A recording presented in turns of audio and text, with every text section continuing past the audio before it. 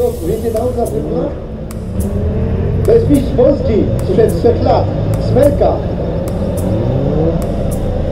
Moi drodzy, wielki rywal dzikiego. Jeden z najlepszych dzik hunterów w historii tej dyscypliny.